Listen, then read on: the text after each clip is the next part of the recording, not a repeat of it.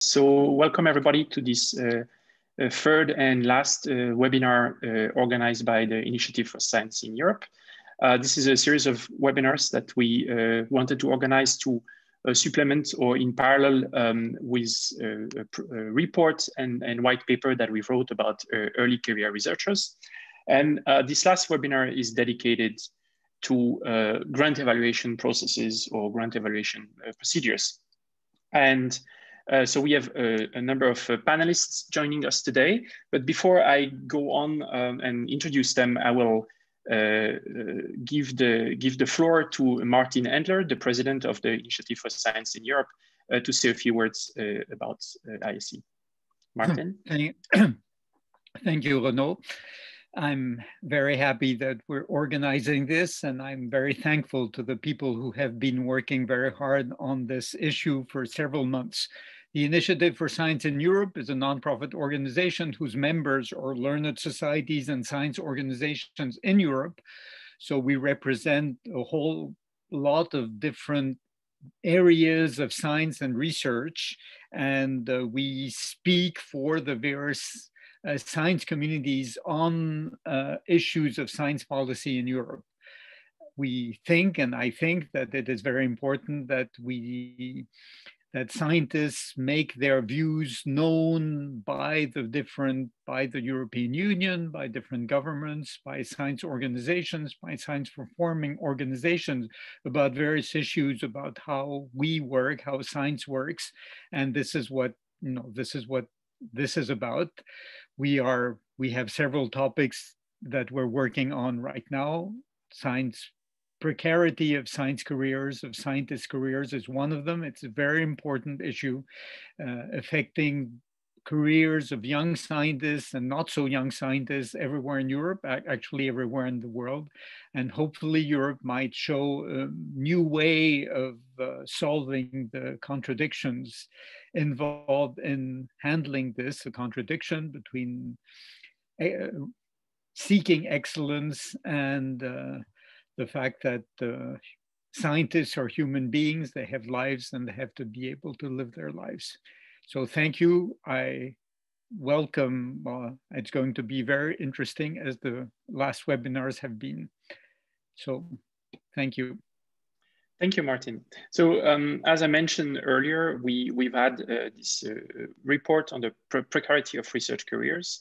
And we had uh, two uh, webinars preceding that one, one on the funding of academic careers and one on the research, research assessment practices. If you're interested in, uh, if you missed them and you're interested in seeing them, you can uh, still go to the webpage of ISE and there's a link, uh, they've been uploaded on YouTube and you can uh, see them on YouTube. now this last webinar will be dedicated to research grant evaluation practices. And joining us today to um, speak about this topic, we have four experts. Um, and I'm just uh, gonna introduce them briefly and then ask them to say a few words about themselves and about the topic. So our, panelists today are Professor Catherine McCammon, who is a geologist and professor of geochemistry at the University of Bayreuth. Uh, and she has a lot of experience in the in the research grant evaluations because she was um, the chair of uh, one of the ERC panels dedicated to Earth system sciences. Then we have Dr. Frédéric Sgard, who is project administrator of the Global Science Forum at uh, OECD, the Organization for European Cooperation and Development. Um, uh, then Dr. James Morris, who is a senior policy officer at Science Europe, which is uh, an organization that uh, whose members or which members are uh, founding bodies in uh, large funding bodies in Europe.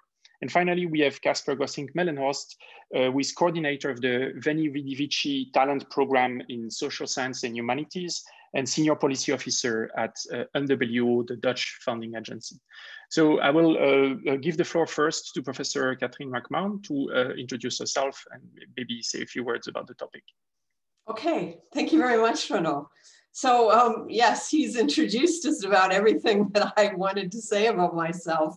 That um, yeah, I'm based in Germany, so I'm most familiar with the German funding system, and then of course I have served with the European Research Council, um, most recently as a panel chair for the um, Earth System Science. So I'm guessing this role with the ERC is why I've been asked to participate in this panel. So I've read what's in the report, and I must say it. I agree with just about everything that's being said in terms of the points that uh, have been made. And I just wanted to add a few things that um, uh, are part of this conversation, and that is that uh, there are some very rigid frameworks that we have in um, in academia that are challenging to work within. And one of them, I think it's been mentioned in previous webinars, is that um, there's very much this pyramid system where there are very, very few positions at the top levels. And, um, and so there's just a lot of competition for these positions, these long-term permanent positions. Um, and then another challenge is that, um, so we're talking about research funding today, the grant evaluations. Um, and quite often this takes place where the amount of financial resources is finite. And so you have to make decisions based on um, this constraint. And then um, I just like to finish by saying that uh, a lot of the conversation today is going to address the, the actual evaluation process um, in terms of uh, researchers' careers. But I want to also point out that one can also address it at the level of the researchers themselves. And so what I mean here is to look at a more level playing field, this, this concept of inclusiveness. And I'm certainly aware of this at the European level where there are countries that just, uh, they don't perform as well due to, for example, infrastructure that's just at a much lower level. And so I wanted to mention a few initiatives that the ERC in particular has uh, started to try to address these problems. Um, and that is uh, the ERC has started a visiting fellowship program. So this means that uh, potential applicants um, can spend time in an ERC funded lab just to get a sense of how things work, how the, the how do you write grant proposals and so on. That's actually been going for a few years and that seems to be uh, bearing fruit in terms of the number of, of, applicants and success from these underrepresented countries. Another one is a mentoring initiative that was just announced. And so this is a concept where you actually have a, uh, a senior mentor who uh, provides support for the potential applicants so that one can hopefully improve the success rate from these regions. And then the final one uh, is educational materials. And um, uh, so the ERC has some YouTube videos that are actually quite uh, informative in terms of just how does the system work and how can you uh, position yourself to be successful. So that's all I want to say. Thank you. Thank you, Catherine. Uh, next, I will ask uh, uh Dr. Frédéric Sgard to uh, say a few words. Thank you very much for the invitation. It's a topic which is obviously very dear to our hearts, actually. Um, the Global Science Forum of the OECD is a structure to, which is dedicated to international science policy. Uh, and the OECD is not just European, it's, it's global. We have many non-European members. Um, and it's a, it's a topic, the, the problem of, of, research funding is a topic that we have been examining for, for the last few years, not just at the statistical level, because we do collect statistics on, on research funding from all countries, you know, both public and private funding, but also at the policy side. And how does it work? Is it efficient? Um, you know, what are the value systems? And we just completed the work two years ago on competitive research funding system, looking at assessing, you know, what is the efficiency of the system, when does it work best, in which context, etc. We just concluded some work on high risk, high reward research, and the report will be published in coming weeks. And again, the whole system of funding is very important there. And finally, to come back to the first topic that was mentioned, we also completed the work on the research precariat, the precarity of young researchers, particularly, and, and the, that report will be coming up also in a few weeks. So most of what I will say today is related to the work that was done in, in those recent reports. Now, when we talk about research funding, we have seen an increasing role of competitive funding. Uh, what, what, why do you have competitive funding? Well, initially, of course, there is a, a resource problem, but initially it's just because you consider that if you put people in a competition, you're going to increase the quality. You're going to force the, the, the researchers that are going to apply to raise their standards and to make sure that the, the work, you know, the, the quality of their work will be higher, okay? Because the traditional system to evaluate the proposal is the peer review. Basically, it's an internal system where scientists trust their peer to review the quality of the proposal. And, and most funders, most research funders do uh, um, work with a peer review system and, and, we can, you know, again, discuss the details on that. So uh, the, the primary objective was to have this evaluation by peer to ensure that the work which is proposed is of scientific quality. Uh, people say scientific excellence. Uh, um, excellence doesn't mean anything, but okay, it's high quality, right? Okay. The problem arises now is that not only do you have this primary goal, which is the high quality, but a number of additional objectives have been added to the initial objective.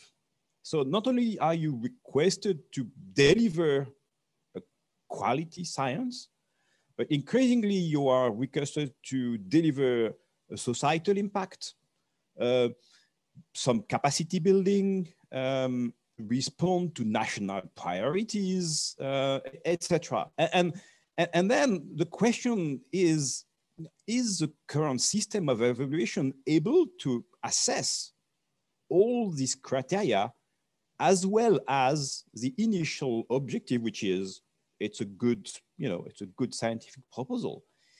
And, and just by peers, you know, just by other scientists whose job is just to, you know, do research and, and, and produce science.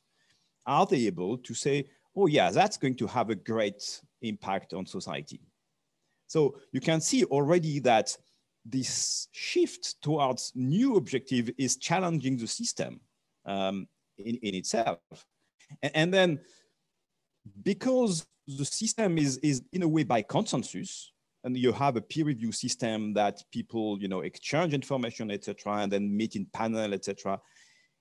And, then that consensus in itself has some drawbacks. Yes, it, it will, you know, ensure that the, quality, the, the proposals which are selected are of quality, but it will remove asperities because you don't have a consensus on things which are out of the ordinary. And, and that's something which really is, was striking when we work on high risk, high reward uh, research, which is basically risk taking is not rewarded just because of the system is not tailored for that. You know, if you, if you say, you know, oh, this is going to be a risky proposal. It may not succeed.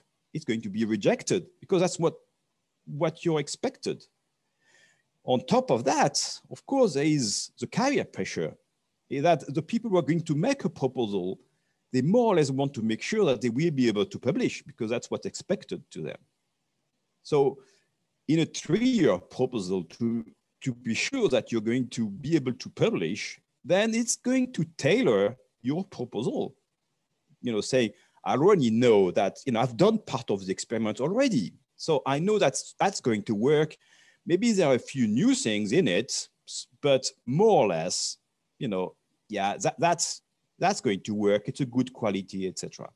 Then when you look at how the evaluators assess, you know, the various criteria, what are they looking for? Well, the first element that they are looking for is, you know, the, the, the the background, the track record.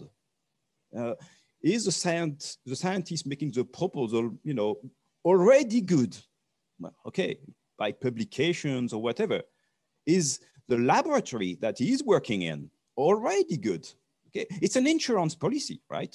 Okay, that again, you know, puts some boundaries into the type of proposal you can you can accept.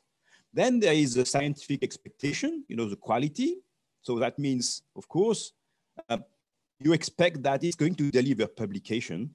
And then there are all these new criteria that they are, the, the juries, the evaluators are expected to assess without, you know, honestly having any uh, objective criteria. It's just more feeling, but they are usually not trained for that. You know, assessing the potential societal impact of a proposal is extremely hard for, for anybody. So even more for a normal scientist. So you can see all the challenges that increasingly put some weight onto the system, which initially was pretty well developed. And then finally, because it's a long talk and I'm sorry for that, is a problem of success rate. And success rate, you know, we can't escape that.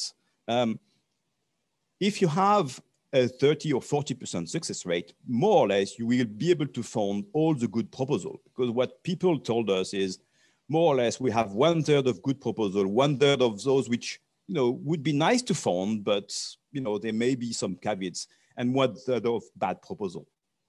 But if you have 10% of success rate, it's a lottery. You just can't choose within the good proposal. So you can see all the challenges which are adding up. Thank you. Uh, thank you, Frederic. Um, uh, next, I will ask uh, James to say a couple of words and present himself.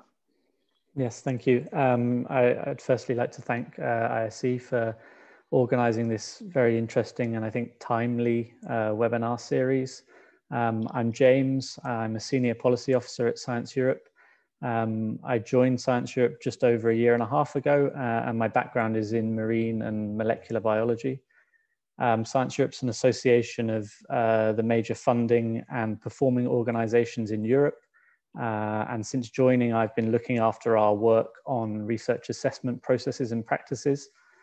I think as an introduction, I'd just like to highlight that over the last couple of years, um, Science Europe has been conducting a, an extensive study of the assessment processes of its members uh, and other selected organizations, and then has followed that up with the publication last year of a, a position statement and a set of recommendations on the topic. Um, and that publication represents a, a kind of position, a consensus position amongst our members. The study looked at uh, the assessment for funding allocation by funding organizations and also career progression in, in research performing organizations. Um, the recommendations focus on many aspects of assessment processes, um, several of which I think are particularly relevant to this uh, today's discussion and also the ISE position that was produced. I think those include um, transparency in the terms used as targets for funding. Um, for instance, the, the, the, concept of excellence, as, as Frederic already said, um, the efficiency of assessment processes for applicants, um, how to incorporate uh, qualitative assessments into assessment processes, uh, and also the development of and implementation of, uh, of novel approaches to assessment procedures. Um, so just to, as a, as a final introductory note, um, I'll say that uh, assessment and evaluation processes are a core activity of, of funding and performing organizations and that these processes influence all aspects of how research is conducted, how it's performed, and how it's disseminated, um, which in turn influences the careers of, of, of, the researchers that are on the receiving end. So it's, it's really important that, that these processes are fair, efficient, effective, and transparent. And that's all for me. Thank you, James. Uh, Kasper? Also, thank you very much for inviting me. Um, uh, I said I work at NWO, the Dutch Research Council. Uh, I work on our uh, talent program, one of these uh, excellence uh, uh, grants. Um, but I also work on what we call responsible research assessment. Um, and in effect, it means that part of my job is trying to force culture change in academia in the way we uh, assess. Um, so uh, it's also because as a funder, um, we're kind of in a unique position. Um, as an individual university, for instance, it's, it's a lot harder to change the way people are assessed and what's important. We, as a national funder, um, serve all uh, academics. Um, uh, so if we can change things, it, it usually has a large impact. Um, so what I do is we we try to uh, change our uh, the, the way we evaluate. First of all, by um, looking at uh, if in our funding schemes, if the uh, quality of a researcher is important at all, and if not, then we do not ask for a CV, for instance, to make sure that it is about the idea. Um, but if in a funding instrument it is important, then um, we've introduced uh, a narrative CV. I know it's also uh, a hotly debated topic if that's effective. We believe it is, uh, at least the way we've uh, developed it.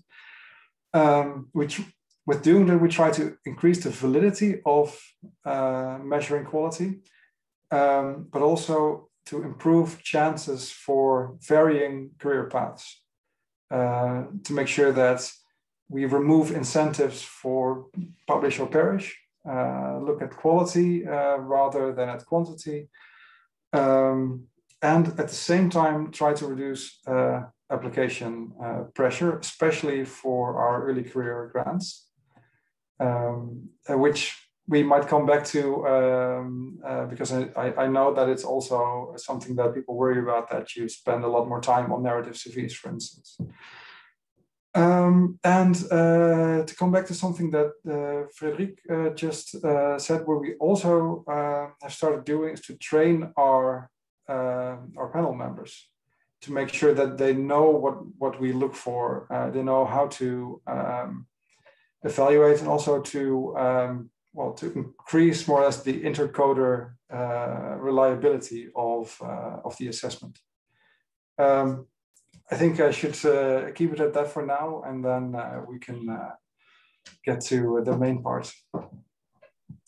Thank you, Jasper. So I'm, actually going to uh, bounce on that and, and ask you to maybe tell us a bit more about the narrative CV, because I think there's a number of points that were um, uh, raised by, uh, for instance, by uh, Frederic and by yourself, or also by, I think, something that is mentioned in the report that James mentioned, this is, which is what is excellence? there's often not a very clear definition of what is excellence, and um, which I think mostly in the past, people have measured only as uh, how many high impact papers you have published, for instance, how, uh, how often you were cited. And so I guess this is um, one of the driving forces behind uh, introducing a, a, a, type of narrative CV. And so, as you said, I mean, my experience of the narrative CV is that it takes a lot more time to write uh, than, than an actual CV, especially when you are being repeatedly asked to uh, recombine the same information in a different format. And I, I have a, so I, I, would be interested to know more about it and, and really what was the what was the thinking at NWO behind that. Also, I, I have a, a, side question, which is, uh, does that not include a, a, bias towards people who are good at writing uh, nice stories or a different type of bias uh, in some way? Well, to answer the last part, uh, it depends on how you uh, shape not only the, the narrative CV itself, uh, but also uh, how you instruct your, uh, your, your committee members. Um, we strongly focus on substantiation in, uh, in both the CV and the assessment. So um, yes, we ask for a narrative, we ask for explanation. Um, and um, uh, we um, uh, we expect uh, narrative descriptions, but we do not exclude all indicators. Uh, we ask people to uh, substantiate what they are claiming with proof, with examples. Um, and we only exclude some things that we know that are unreliable. Um, and um, what we see is that we've also had this evaluated um, uh, by external uh, researchers. We see that that uh, boasting um, doesn't work. Uh, only if you have something to show can you actually uh, um, get a decent grade. And what might also be relevant to know is it doesn't change that much about who we select, but it just increases chances for some people that wouldn't be able to show their qualities otherwise. So, for instance, in our early career grants last year, um, we've awarded someone who was an external PhD that didn't have any research appointments at all. Um, uh, also not after a PhD. Uh, and this is our most competitive uh, funding grant, mainly aimed at uh, uh, the, the best talents that have somehow a great CV. But this person could show experience outside of academia that was very relevant and explain why it was relevant. Um, that, that's what it does for us. Um, and yes, it does take some time. Um, we've uh, also looked into this. It's about 20 hours in total per person to write a narrative CV. Um, we use the same uh, module throughout our uh, organization that helps. We try to get it accepted outside of uh, the Netherlands. For instance, uh, the, I know it's not a big deal probably, but Luxembourg has done uh, has introduced the same format to reduce the time people spend on it. But yes, it, it does take a li little bit more time. So what we've done in the um, uh, um, the funding round where uh, uh, where we've introduced this said, okay, if you if you get this grant, you have to have a great CV, you have to have a great idea.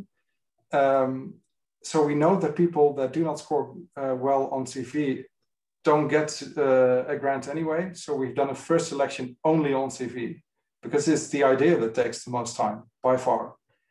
Um, and that way we've reduced the time people spend in total uh, for on the macro level and on the individual level, we, ha we haven't increased it uh, for anyone. Uh, so that's more or less uh, how it works for us. Okay, so I, I understand that. The, the, the, yes, Catherine, you wanna you wanna say something? Go ahead.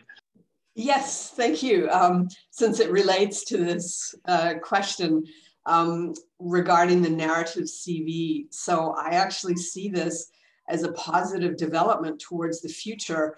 Um, it's certainly within the ERC, there's the need to evaluate a vast range of different research fields.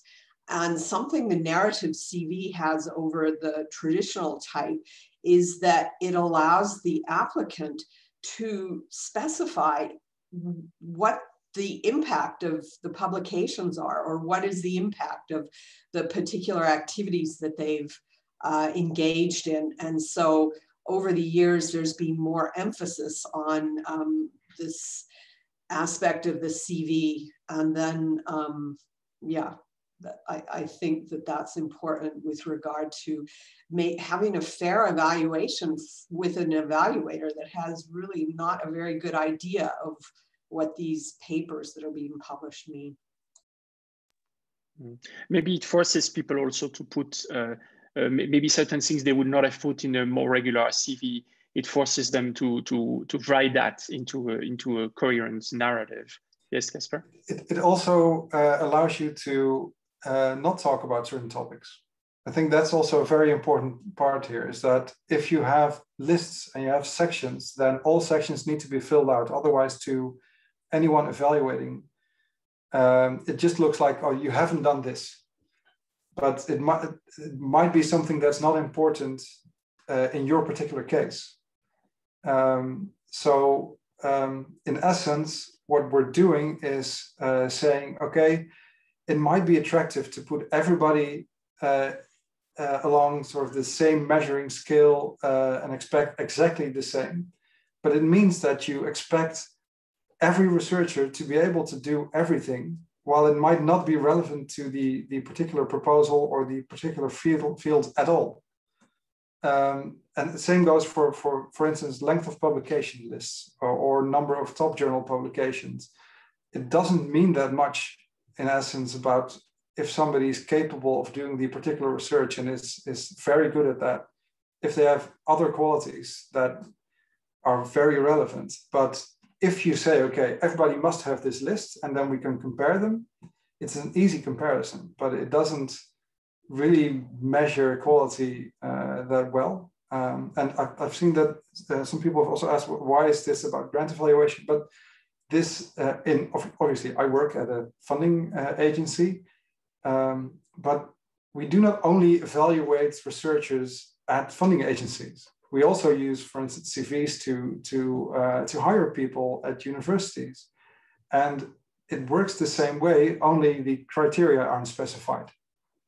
Um, so uh, these, these uh, ways of looking at people can be implemented beyond just the funders. So I think that's, that's very relevant. Yes, I think it's a it's a very convincing argument actually. The the, the fact that you can avoid uh, speaking about certain topics. Um, now I would like to ask uh, James and Felix. So, so I'm so NWO is uh, using the narrative CV. I'm aware that I believe the Swiss National Science Foundation, the Australian Research Council I had experience with, and and the ERC to an extent.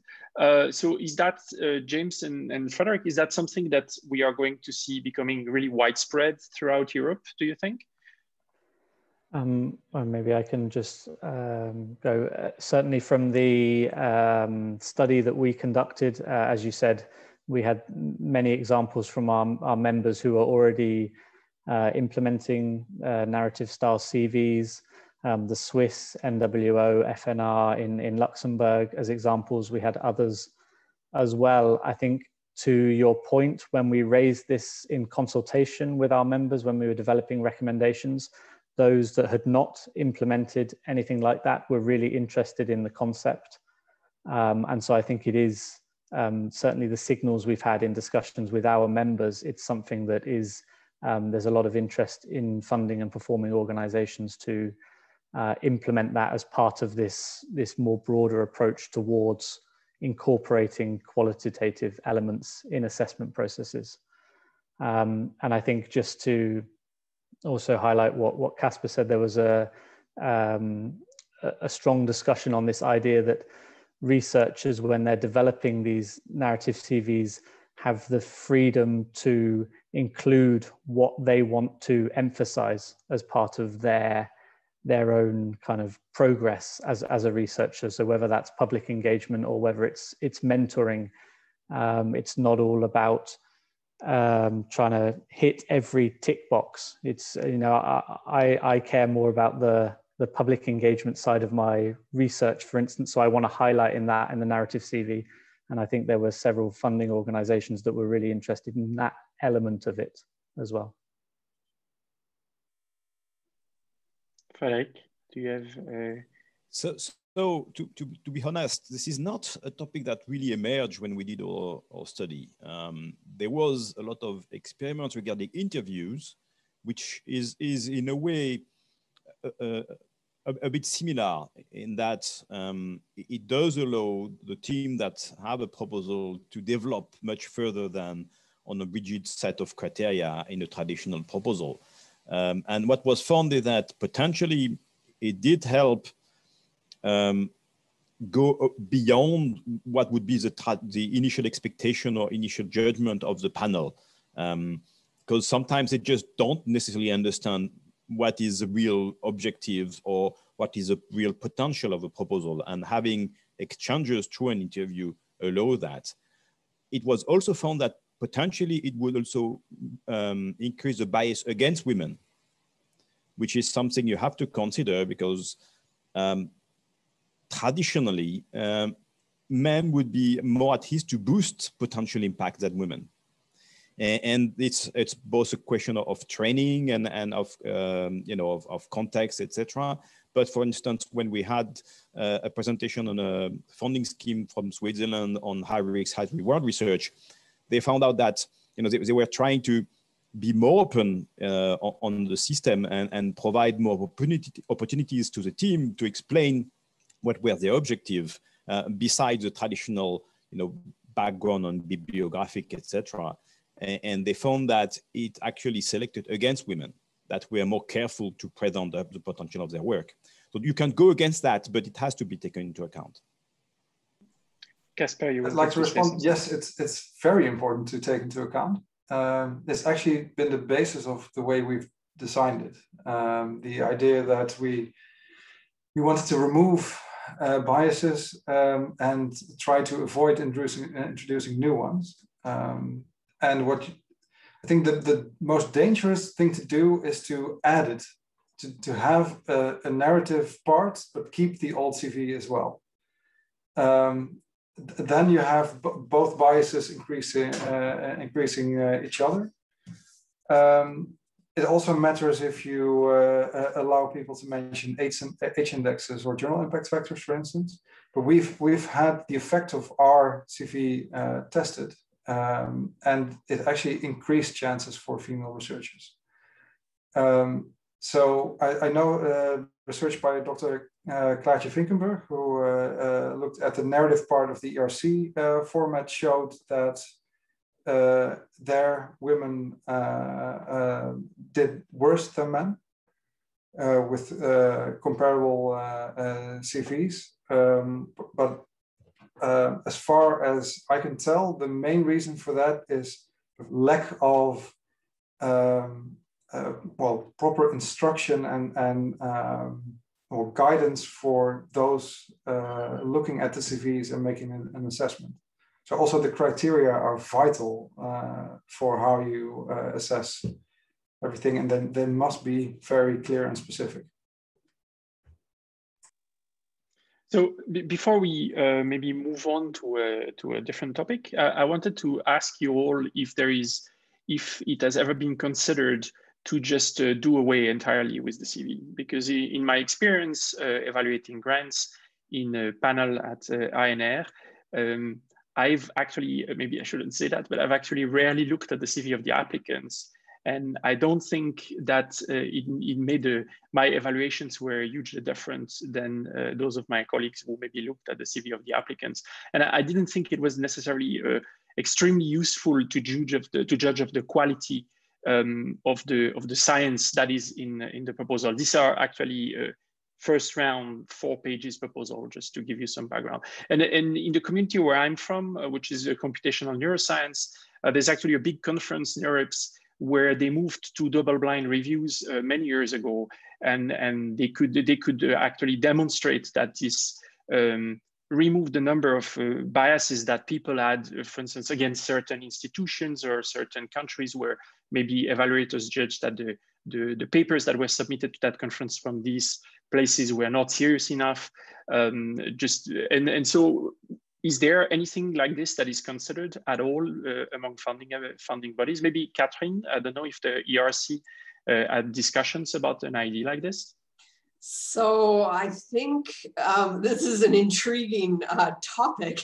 Uh, certainly with the ERC, I think um, that uh, throughout the program, there's been so much emphasis on the project is is half of the um, consideration and the PI is the other half of the consideration. So I'm trying to think it could be in certain fields, this concept could be more tractable. But one of the questions about a funding organization that they have is well, if we give these large sums of money to a researcher, um, we want to have some confidence that the funds will be spent productively. So whether it's in training or whether it's in developing new ideas or whatever it happens to be. And I, I'm trying to think how this can work if you don't see the track record of the person carrying out the work. So I need to think about this a bit more, but um, I certainly have not been in this experience. Frédéric, you wanted to say something? Yeah, so that's that's actually something we have looked very carefully because there are many many funders that have tried that, either uh, public funders or even private funders. Um, and that has proved to be very successful when you want to initiate new ideas, new proposal, because it does remove part of the bias and it does encourage people to take more risk in their proposal. Um, you have to uh, um, realize that for a number of, of um, researchers, particularly those that may not come from a very famous laboratory, uh, there is a strong bias in the selection process. So having removing the, the track record or the origin of uh, the lab from the proposal, at least in the initial stage, because as Catherine says, you, you, you, also want to ensure that there is a, a proper um, organization and, and process behind the proposal. But at least to make sure that you can accept original ideas without preconception, that has, you know, has proved to be very successful. Um, but you know there is a very strong pressure to keep it, uh, and it's not very surprising because peer review system is is you know within the academic system is people know each other, and and and there is a, a tradition of you know. Um, looking at the quality based from the track record based from the laboratory and you actually have some funding systems which are uniquely based on the track record I was saying we're just going to fund good people and they will produce good research, you know, and, and that's good enough. And that's a bit the, the, the system of the ORDU's ground in the US, and it does work. So there is nothing that prevents, you know, um, keeping or removing the, the track record uh, or the origin. The question is really what do you want to achieve? And how do you match the evaluation process to your objectives? And that's currently what is, is probably missing. There is an increasing mismatch between the objective and the evaluation process. And that can be addressed, but currently you just can't ask the traditional evaluation process to respond adequately to all the constraints, to all the criteria. Okay, Kasper? Uh, Yes, well, this is uh, exactly what we've been doing. I think you can always discuss, obviously, if the, the goals that we have are the right ones, but uh, the uh, responsible research assessment group that I'm in, what, what we have had as a, a job within our organization is to look at all our funding instruments and to see whether a CV was necessary. Um, and if it's not, it was scrapped. Uh, so um, there are the, the uh, runtime responsible for so the talent scheme. Uh, we do ask for a CV, but, but what's also something that we do now is everything that's um, what we call administrative information. So where do you work currently? Um, where did you get your PhD? Uh, anything like that. Uh, also, your last name, we don't ask for first names or for gender, is always at the bottom of any form. It's never the first information that you see, because uh, it's not only in in uh, the time frame of um, assessment procedures that it matters what you see uh, at which moment, but even in, in a single assessment moment, it matters what you see first. So if the idea is the first thing that you see, it becomes the most important thing that you evaluate it, that's sort of anchoring effect of uh, in the assessment procedure.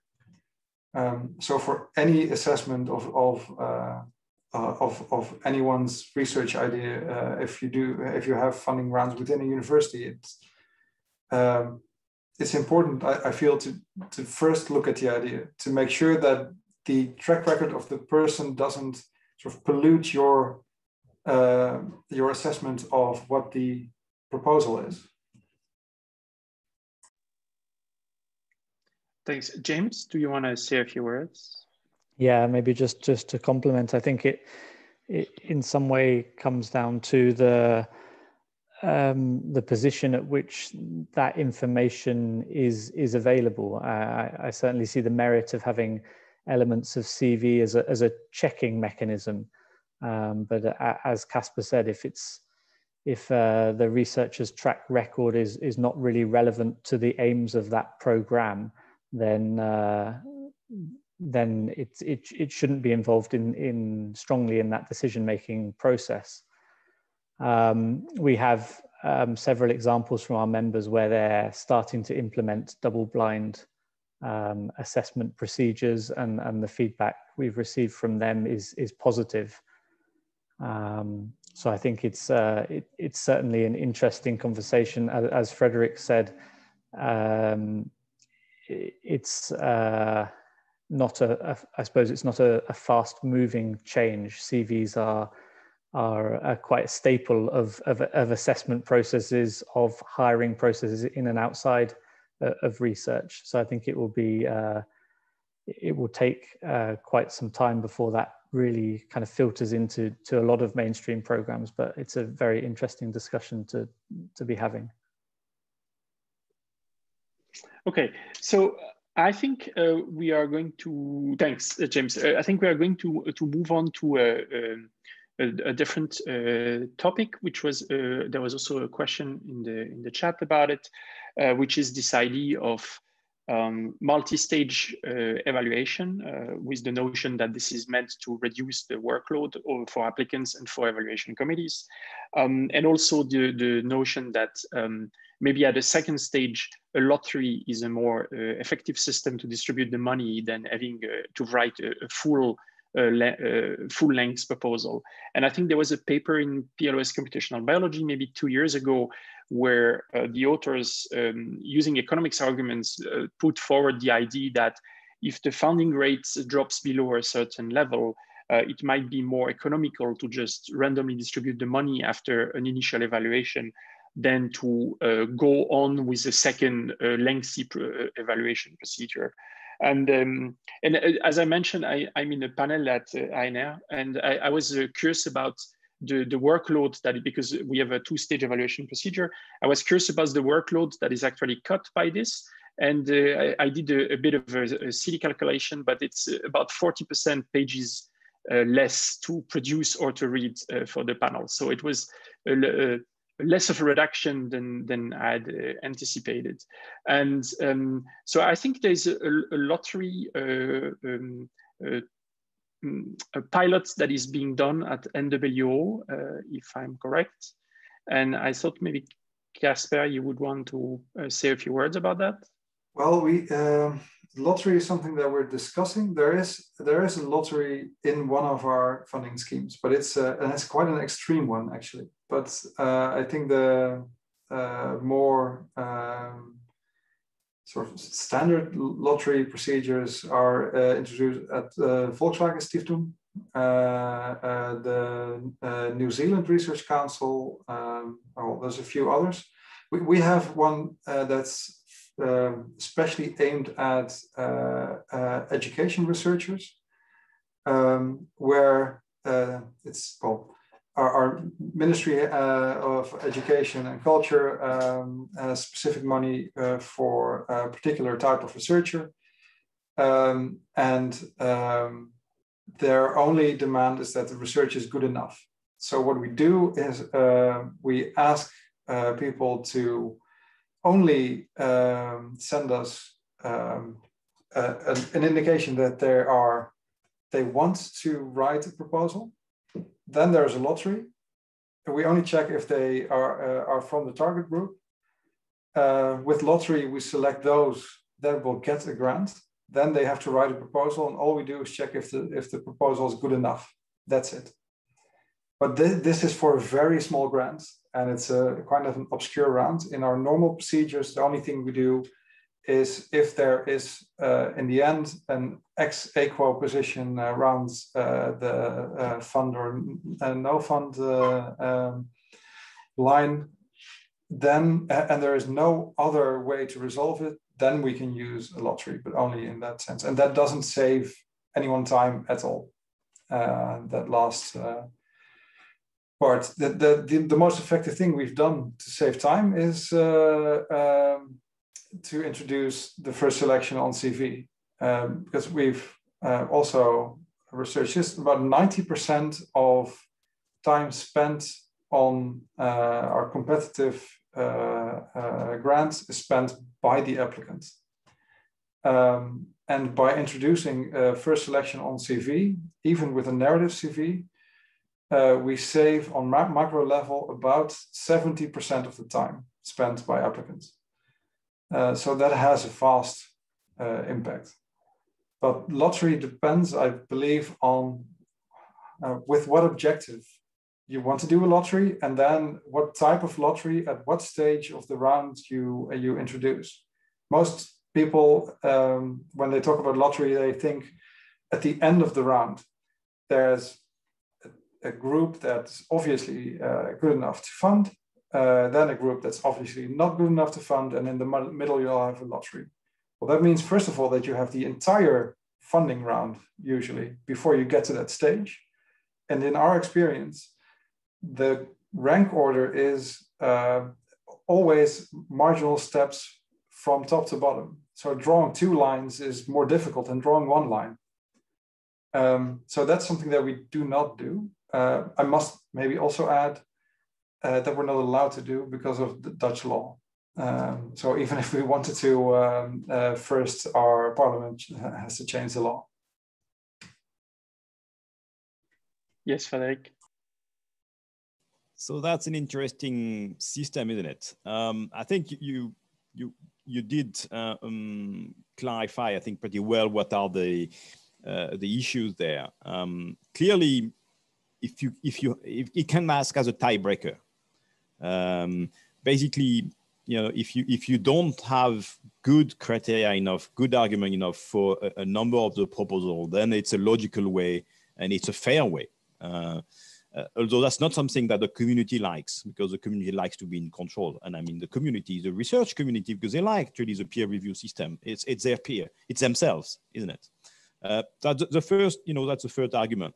The second one is, is that more efficient or put it in the reverse way, is there an added value into the peer review process? And that added value is not just by selecting the good proposal, it is also by feeding back comments to the proposers, to the scientists to improve the proposal. And, and some funders do that very well. Uh, and, you know, within or, outside Europe, where the internal staff of the funding agencies do play a, a critical role in, in dialoguing with the research scientists that make the proposal and, and help actually improve the proposal um, through question exchange, etc. So there is an added value into the evaluation process itself. Uh, if there is no added value, then of course the lottery is much simpler. But usually you have, as Kasper said, to go through the first step of evaluation anyway, because going from the start, you know, through a, a, lottery would mean that there is no value whatsoever in a, a peer review process.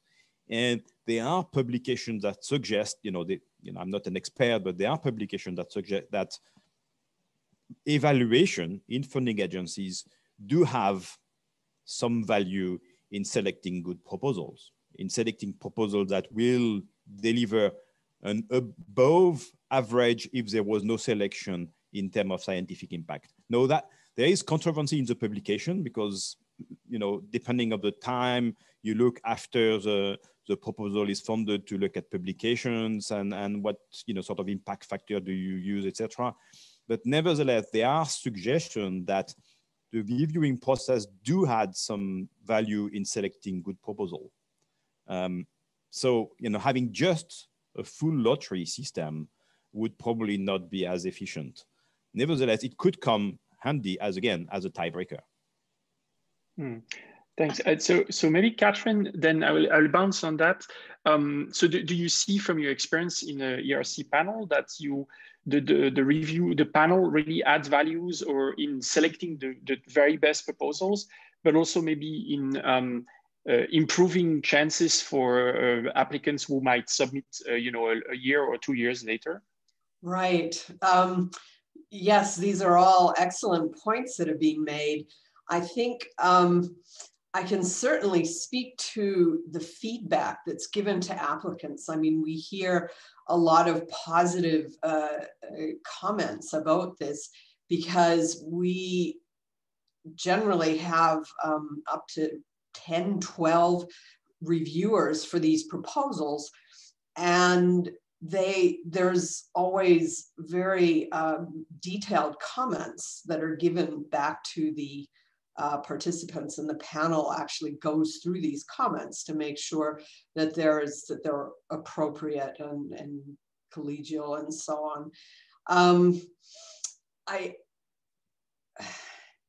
I, coming back to the the two stage process that that you also talked about in the um, asking this question. Um, so the ERC, in I think most of its instruments actually has this two-step process, but it's unusual in that both steps occur at the same time. So the applicant actually has to write both parts of the proposal, the synopsis, and then also the details of what they're going to do. And um, the arguments advanced in, in terms of this type of approach um, are basically that of time, that if you have a two-stage process where there is um, the, the initial round decisions are made and then you go back to the applicant and say congratulations you made it through. Now you have to write the full proposal um, this adds quite a number of months to the process in order to be fair to the applicant um, whereas i think uh, the, the approach that the ERC takes, it, it all happens within uh, the space of, let's say, eight or nine months. Um, speaking to the amount of work that is involved in the, uh, for the panel members, um, I, I really am trying to understand how a lottery system could reduce that work if you have to read all of the proposals anyway to evaluate whether, you know, which part of the group that they fall into. Um, but uh, as Kasper said, there are certain situations in which it could make sense for a uh, another factor other than uh, the, the, biases that crop up that unfairly advantage or disadvantage applicants. So that could be a more level playing field. I think that the proposal that was made in the paper I was mentioning was actually to have a, a two-stage evaluation process where um, the applicants only submit a very short proposal and then uh, you just make two piles and in the fundable pile, uh, you just randomly select the projects. So there was no a second stage. So it, it would, in that sense, it I think it would shorten the evaluation procedure and the workload because you don't have to write a full proposal and also because you don't have to evaluate the full proposal. And uh, so I, am just going to uh, go to James and um, uh, to ask him if uh, from from Science Europe if, if this is if uh, this kind of lottery IDs are, are are they being tested in other funding agencies? Is that something that people are thinking about? We, we have a, a, a couple of other examples I, would like to highlight, and I think it links to, to, to the previous question as well, is the, the Austrian Science Fund have a program called the 1000 Ideas Program, um, which starts with a, a form of double-blind assessment, uh, and then as a second stage has a, uh, a part evaluation panel selection, part random allocation. Um, so that's a kind of a, a half lottery um, system and, and the feedback they, they've received on it so far is that, that it's well received. Um, I think more generally, there needs to be really clear communication on, on, on all of these types of novel approaches. They need to be kind of hypothesis based um, and, and kind of evidence based if, if the evidence is, is available. Uh, and, and if that's communicated to applicants and to reviewers, I think that really helps um, kind of push those those processes forward. Um, I think it also comes down to, as Frédéric said, the, the, the purpose of the lotteries, and that, and that comes back to the, the, the hypothesis, whether it is for a tiebreaker, whether it is to try and select maybe higher risk projects from the pool that have already made the threshold.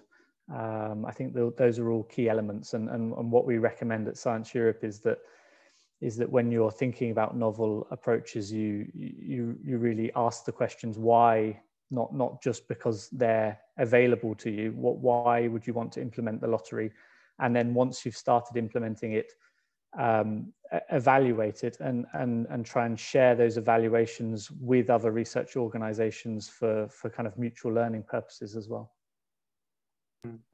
So uh, speaking speaking about uh, panels, actually, the, I see there's a question uh, uh by Matthew in the in the forum. Um, um, so I, am just gonna read this question. So is there an argument for including more junior researchers as evaluators uh, sitting in funding committees? And this could help grant evaluation evolve through a new generation of researchers and embed it more concretely. I'm just gonna add uh, uh, two things to that. Uh, so uh, from the, the Science Europe report from, from last year, this was actually one point that was made in, I believe, in the report. And also, I think it, it could serve as a, uh, some kind of uh, additional mentoring initiative. So Catherine was mentioning this idea that you, you, you're being mentored in writing uh, good proposals. And I think at least for me, it has been a very formative experience to see uh, to, to actually read a whole lot of proposals and to be part of the process to understand you know what, what is uh, what is important what is not important what what you need to pay attention to uh, what constitutes an interesting and good proposal maybe in the eyes of a panel. And so definitely sitting in in a grant evaluation panel is is a very useful thing. So do do we absolutely need to have only very senior people? It's also very hard to get them usually because these are very busy people. And so i don't know um, who wants to go first on this? Um, Frédéric, go ahead. Okay, I'll start and then Catherine. Um, so, so this is something which has been tried. Uh, there was a, a, series of experiments, I believe, in the UK, where not only did they use a first step of, of, of blind application, but they tested to see whether they would include participants or previous participants, participants to the, to the year before, of, uh, of the funding scheme into the jury and, and, comparing that to, to the normal traditional jury. And it did affect the results. And, and basically what it does, it, it the, the, younger the jury you have, the more risk-taking the jury becomes. It, it's less risk adverse. Uh, uh, the more senior jury are just risk adverse. You know, they, they, they will play safe while younger jury will tend to be more interested into the novelty of the proposal um, and, and, less into the actual potential feasibility, uh, you know, whether it's by track record or whatever. So it does affect actually the results, and that's quite an interesting experiment. Hmm. That's really it's really interesting. Uh, Catherine, can we can we imagine the ERC uh, having maybe more junior people uh, involved in the panels? Okay, I, I, mean, that's a very specific question with regard to the ERC that I'm probably not going to touch here. But I want to say, I mean, the younger generations, they're the future. And it's absolutely critical that they are involved in all of these different processes. Um, I see there being comments about transparency, and I also strongly support that because you need to provide this knowledge of how the system works.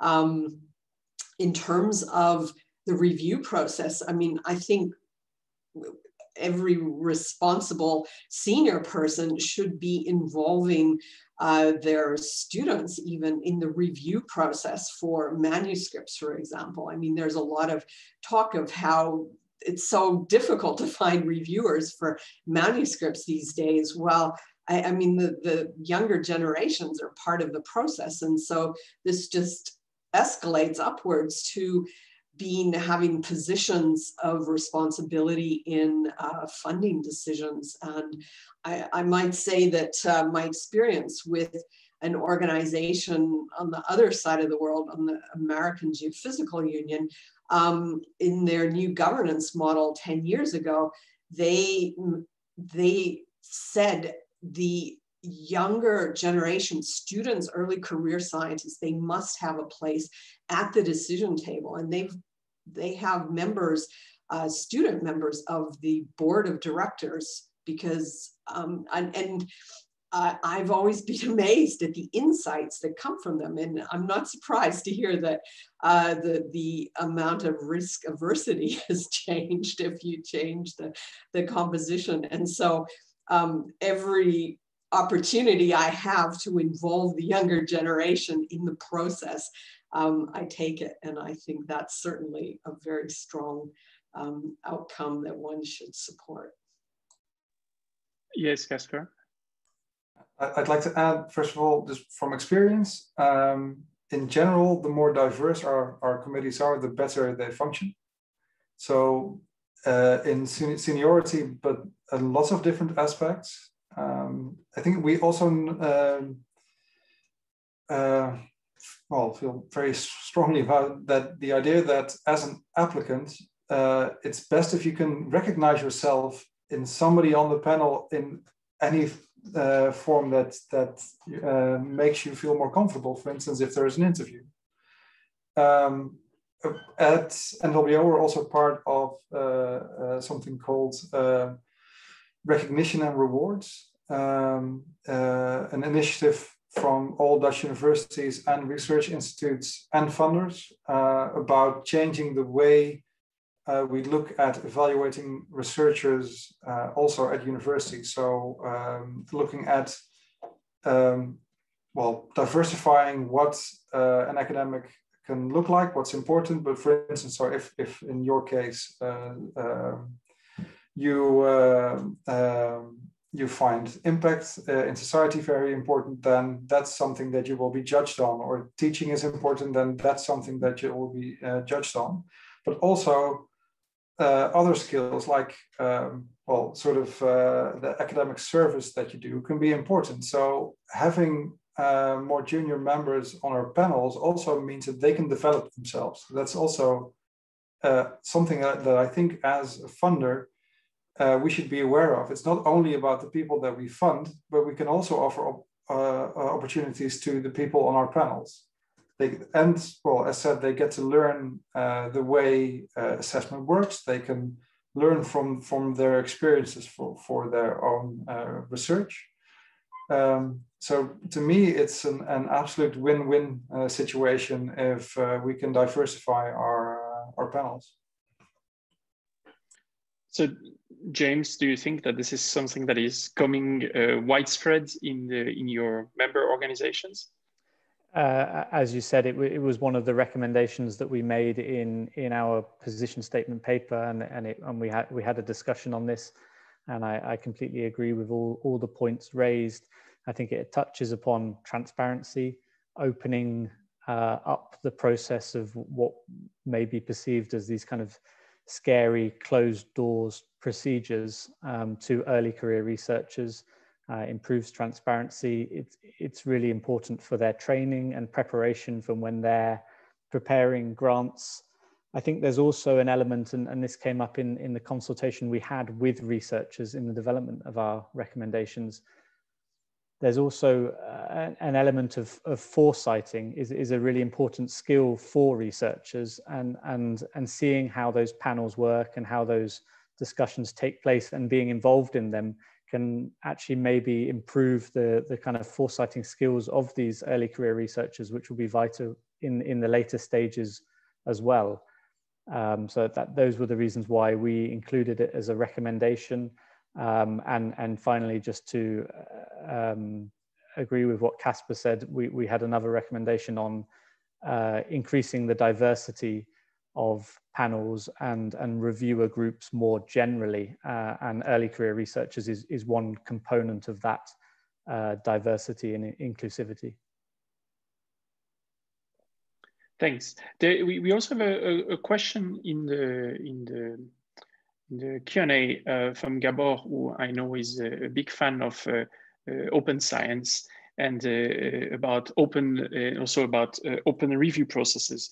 And um, he's asking basically a question whether uh, uh, we can open more data uh, from funding bodies about the review and evaluation process. And this is actually something that, going back to the report from Science Europe, that was a bit surprised. Maybe it's the nature of these kind of reports, but I thought there was not that much quantitative data that was put in the report. And I mean, for, for, for sure, um, funding bodies do collect a lot of statistics about who is applying for from where uh, on, on what kind of projects uh, how the evaluation process works. And so is there is there like a, uh, something that prevents uh, making this data maybe uh, public for researchers in an anonymized form or because that could be i guess a, a very useful tool for scientists to to work on on the uh, evaluation of science I think maybe I just from from from our perspective, uh, I think you're right. It was it was one of our recommendations to try and share more of this data between uh, between research organizations and, and, where possible openly as well. Um, I think there is maybe an element of, of confidentiality in in some of the, the data that is, is is produced as part of these evaluation processes. I think that was one of the maybe the limiting factors when when we had the discussion. Um, but there was a, a, a willingness to, to share the, the data that can be shared between organizations and more openly so that research can be can be done on it. Yes, Frédéric. Yeah, so in, in, the case of our, of our work on competitive funding, we examined about 80 funding schemes um, worldwide. And, and the data, um, uh, they were, you know, funders were quite uh, forthcoming with data. They were very detailed surveys. And the data are actually available on the STIP Compass database that uh, the OECD maintain. So these data are available. And they do go into the details of the evaluation procedures, whether they are um, ways to, um, uh, you know, to, to go back to the, you know, to contest the results, etc. So a lot of practical information.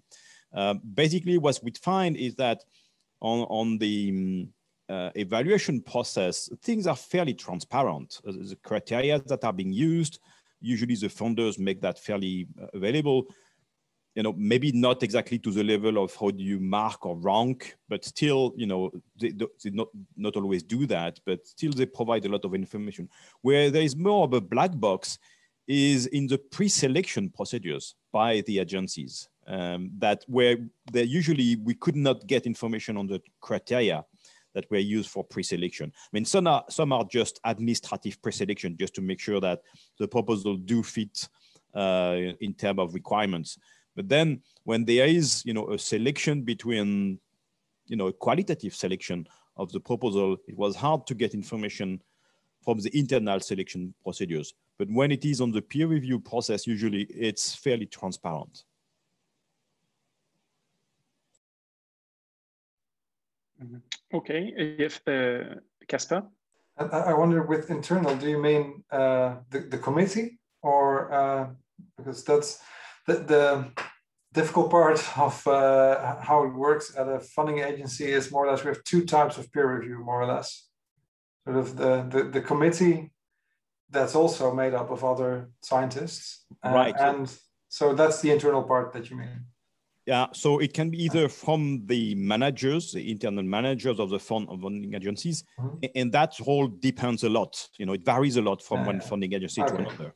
Okay, and then at the committee level, so usually you have first step of external reviewers, and then, as you say, you have committees, but usually even within the committees, the procedures are fairly transparent. It's more the role of the internal staff of the funding agencies, which in some a number of cases do have a role in selection process that is less transparent usually. Okay.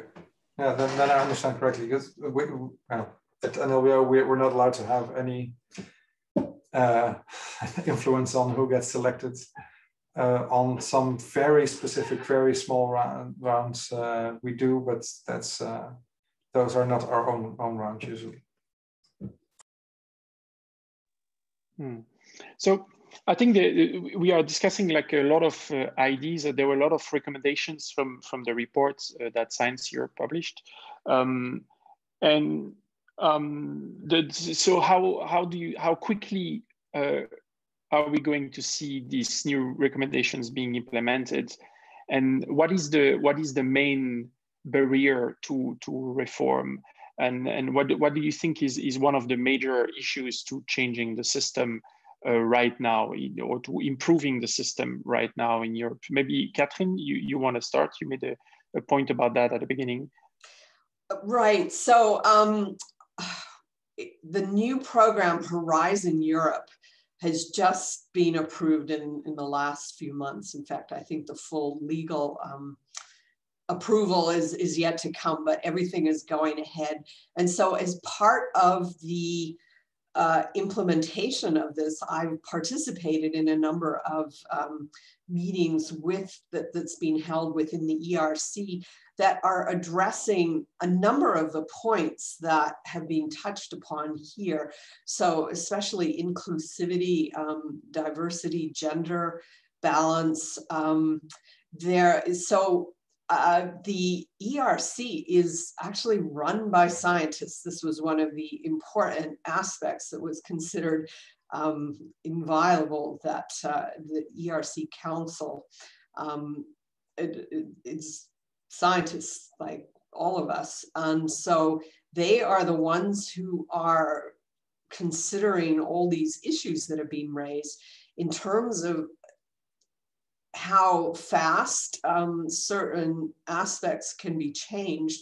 Um, uh, bureaucracy can can move extremely slowly. I mean, I'm thinking in terms of the the, the Deutsche Forschungsgemeinschaft, the, the German Science Foundation, and um, in the many years that I've been involved with them, I, haven't seen. Uh, substantial uh, change, let's say. Um, I, am guessing there's there's just a lot of bureaucracy associated with this, but that's not to say that we shouldn't be having these conversations and that it shouldn't be explored where changes can be implemented that don't require changing uh, a lot of the rigid framework that I talked about right at the beginning.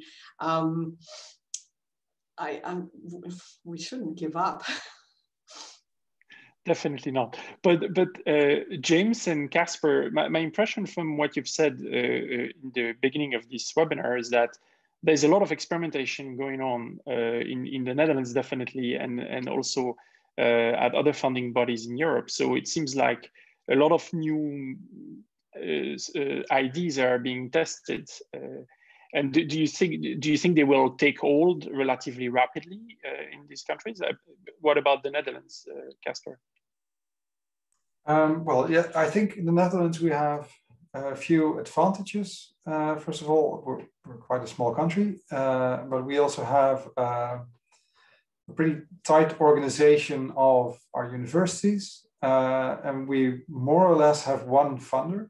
Um, well, well, officially we have two, but we're in the same building, and the head of uh, the other agency is part of our board of uh, uh, directors. So um, we more or less have one. So it's it's kind of a, um, a pretty simple system, and um, that makes it a bit easier to uh, tackle some things. Um, although um, it hasn't changed for a long time, in the last few years there's been momentum.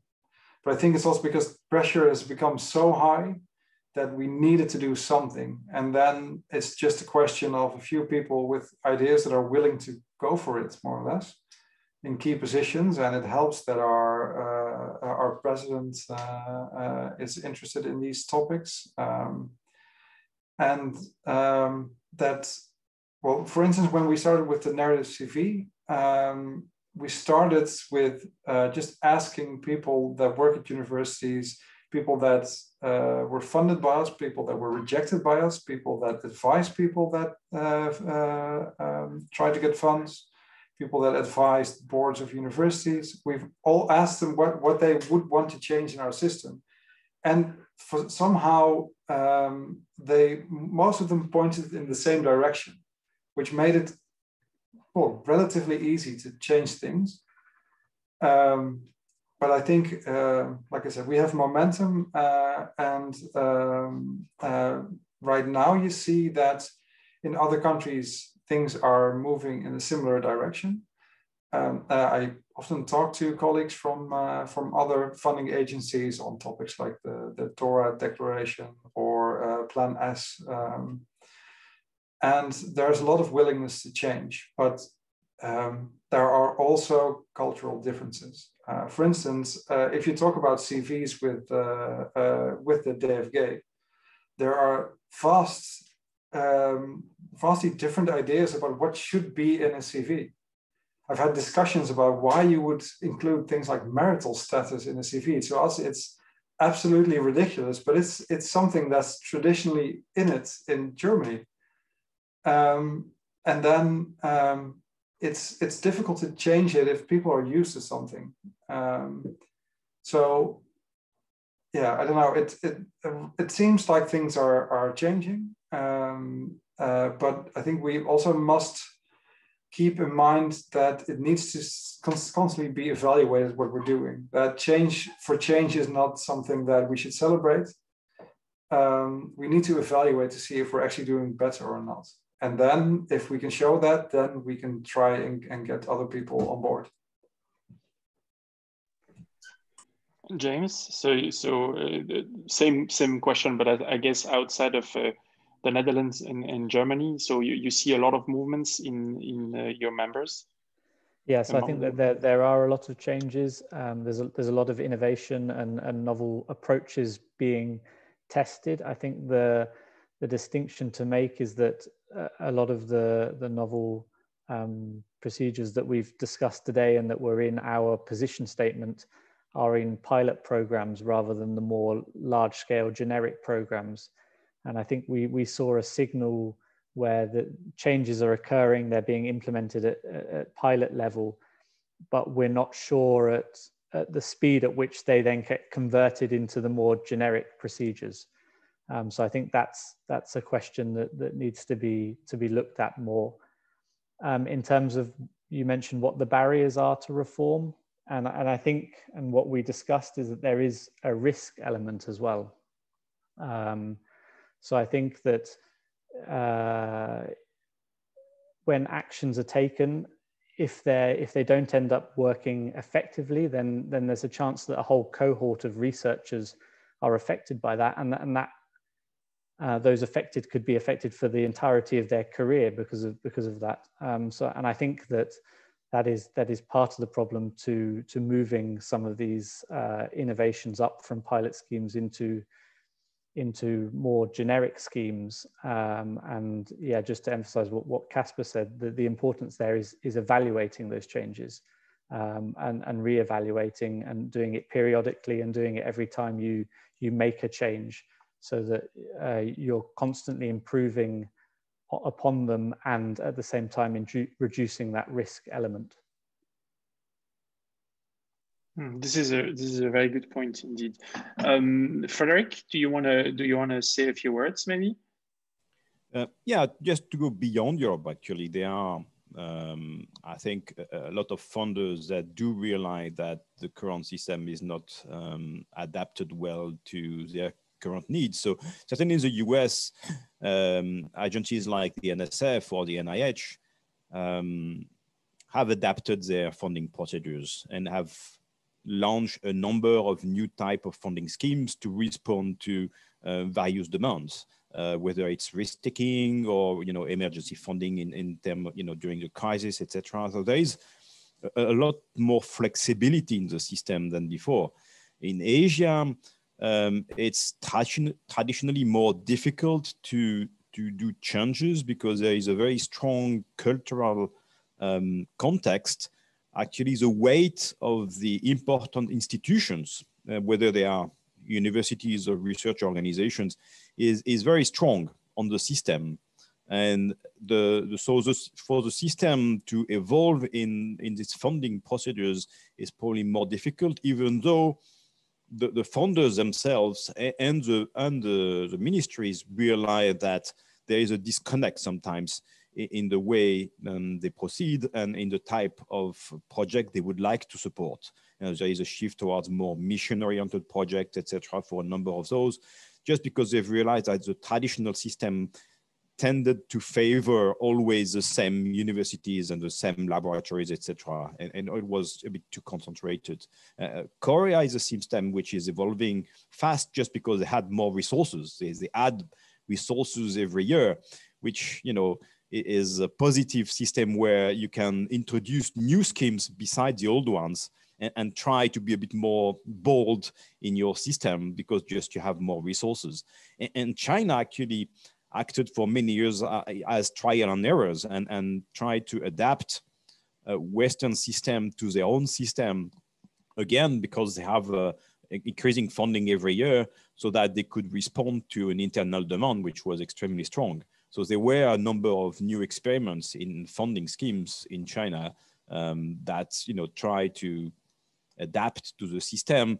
And the challenge there was just that the scale of the system was so huge that it was just very hard to manage. Um, you know, flexibility is just very hard when you have such a huge system.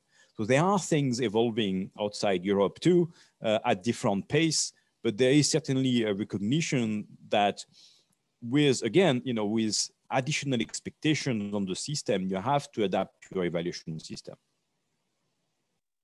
Thanks. The, the, the case of uh, Korea is very interesting. There are many other questions I'd like to ask, but I think we, we slowly have to uh, wrap up. So I'm going to uh, ask you all uh, a simple question. I mean, uh, what would be the the one thing you would you would uh, see changing in the next couple of years, or maybe the recommendation you would have to improve the current system? And uh, and then after that, I will uh, leave the floor to Martin for a few concluding words. So maybe Catherine, you can go first. What is it? What is it that you want to see change in the next few years? Okay, so based on our conversation today, I would say more transparency and uh, more involvement of the younger generations. Kasper?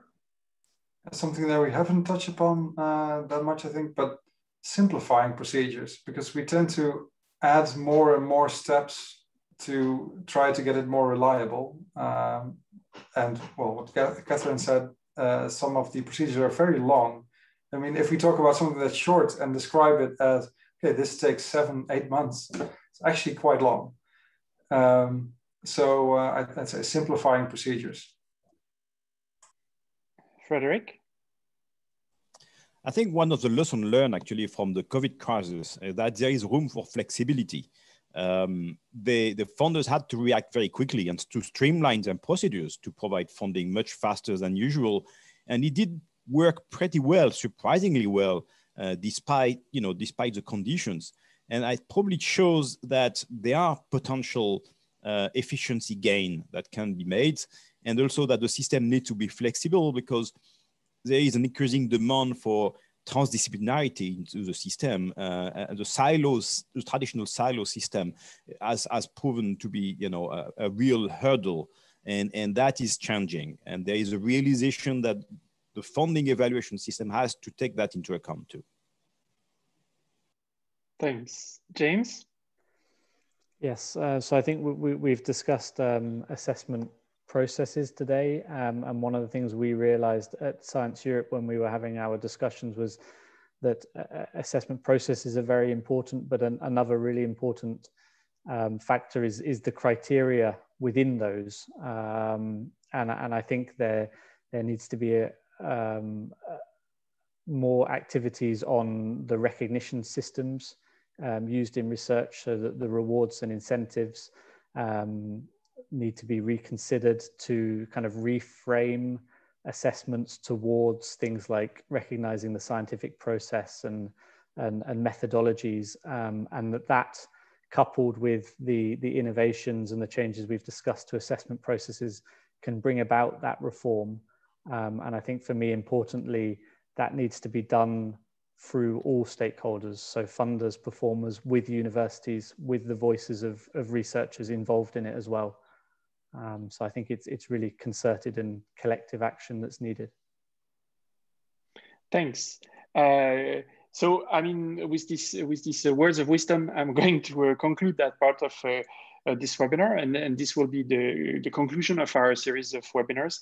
Uh, I wish we had more time to address more questions about grant assessment procedures, because I think there's a, there's a, it's a really interesting topic, and I think I hope it has been interesting to our audience. And with this, I'm going to uh, let Martin speak uh, to, to conclude uh, our series of webinars. Well, uh, thank you. Thank you to all of you. It was a great discussion. I'm glad it's over because there have been so many ideas that we need to process that I'm glad that there are no more ideas and we can start thinking.